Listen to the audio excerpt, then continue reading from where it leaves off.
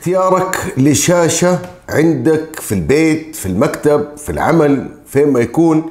من أصعب الشغلات اللي ممكن تتخيلها. في ناس تنزل السوق أبغى شاشة للكمبيوتر أبغى شاشة لل PlayStation لل Xbox للألعاب لأي شيء. ياخذ أي شاشة قدامه على حسب ميزانيته ويمشي. ولكن لما تدقق في هذا الموضوع فعلا موضوع متعب اختيارك لشاشة. تبغى تجمع أو تبغى تكسب كل الأشياء في شاشة واحدة ويكون سعر مناسب. فالشاشات لها أنواع جدا كثير. يعني شاشات المخصصة للألعاب تختلف عن الشاشات المخصصة للأعمال المكتبية Word Office Excel وإلى آخره تختلف أيضا عن شاشات المونتاج. ففي هذا الفيديو إن شاء الله بستعرض معاكم شاشة رهيبة جدا ولكن أيضا فيها عيوب. الشاشة من شركة سامسونج. خلينا نبدأ الفيديو مع بعض.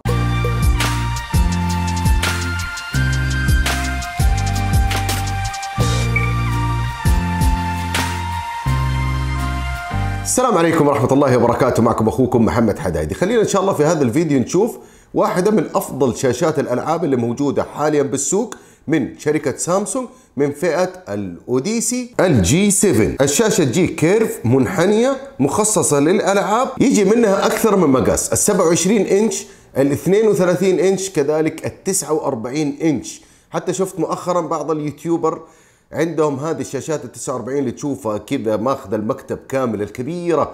هذه أصغر منها شوية 32 إنش. وعشان أكون أكثر دقة معاك الإطار أو الواجهة الكاملة للشاشة هي 32 ولكن الشاشة الفعلية من دون الإطار هي 31 ونص إنش. فخليني أستعرض معاكم في البداية محتويات الصندوق وبعدها نشوف مميزات وعيوب هذه الشاشة. عندنا في البداية أكيد الشاشة نفسها عندنا بالإضافة إلى كتيب تعليمات للتركيب وللإعدادات عندنا stand للمكتب وتقدر طبعا تعلقها على الجدار ولكن تشتري stand طبعا لها بشكل منفصل. أما ال stand اللي بيجي معاه هو فقط عشان تحطها على المكتب. عندنا أيضا إطار معدني من الخلف وغطاء بلاستيكي يخفي الكيابل. وبدون ما تشغل الشاشة أو بدون أنا ما أشغل الشاشة بمجرد نظرتي بعد فتحي للصندوق اكتشفت أول عيب وهو عدم وجود remote control طبعا عادة هذه الشاشات أساسا ما هي زي شاشات البيت اللي تتفرج عليها يعني مو إجباري يكون فيها ريموت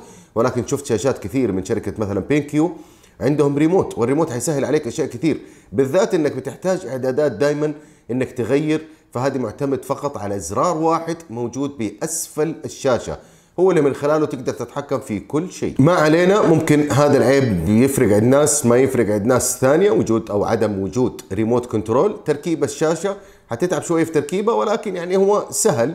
أيضا في الصورة أو الورقة اللي فيها كافة تعليمات التركيب. وبعد ما تركب الشاشة مميز كده من الخلف عندك حاطط لك زي البلاستيكة تقدر تعلق عليها سماعة هيدفون مثلا يعني حركة لطيفة برضو. وقبل لا أبدأ معاكم بالمواصفات الفعلية للشاشة فيها ميزتين.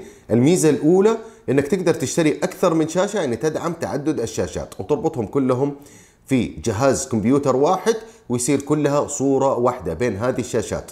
والميزة الأخرى أنك تقدر تستخدمها بشكل أفقي أو بشكل عمودي. بشكل عمودي يحتاجوها بعض المطورين لإضافة مثلا يرتاحوا بالأكواد يعني في بعض الناس تحتاج هذا النوع من الشكل العمودي. كذلك الشاشة سهلة الحركة لليمين لليسار للأعلى للأسفل.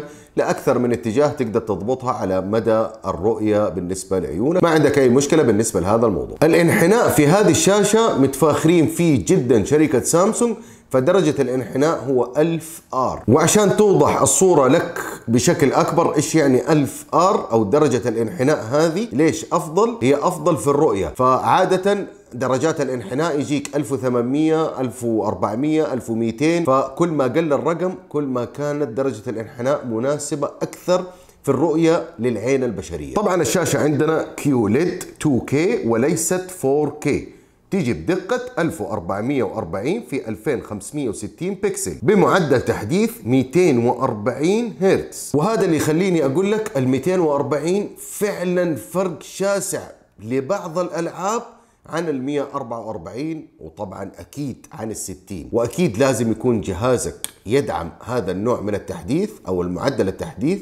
وكذلك الألعاب في بعض الألعاب حدها 60 أو حتى 144 أو ممكن الألعاب حتى تدعم ال 240 هرتز. الشاشة متوافقة مع تقنية الجي سينك وهذا معناه مزامنة بين وحدة معالجة الرسوميات ولوحة الشاشة يعني ما بيكون في أي تقطيع أو تأخير في اللعبة. ومع تكنولوجيا ال HDR 600 وهذا فائدته يعطيك تفاصيل أكثر بالصورة. الشاشة فيها إضاءات RGB في الأمام من الجهتين اليمنى والجهة اليسرى. كذلك من الخلف وتقدر تتحكم فيهم طبعا بنوع الألوان أو شكل الألوان أو حتى طريقة ظهور الألوان. أما بالنسبة للمداخل اللي في الشاشة فعندنا مدخل السماعات الثلاثة ونص.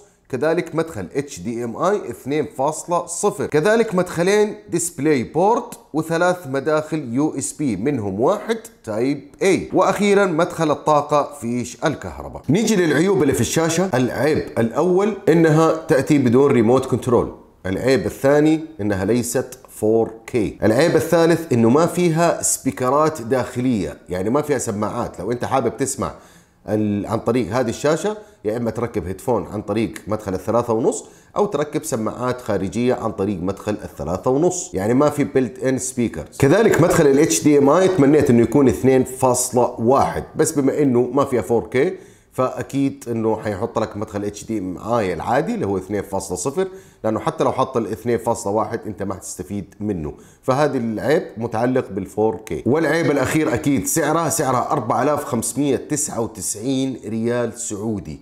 سعر مبالغ فيه جدا ولكن الآن عليها عرض يعني أشوفه مناسب مع مميزات وخصائص الشاشة بكل تأكيد. فما في منافس في نفس هذه المواصفات بهذا السعر. 2699 ريال ومتوفرة في مكتبه جرير والكثير من المتاجر. وبكذا أكون وصلت معاكم إلى نهاية الفيديو. يعطيكم ألف عافية. لا تنسونا من like و subscribe في القناة. وفي أمان الله.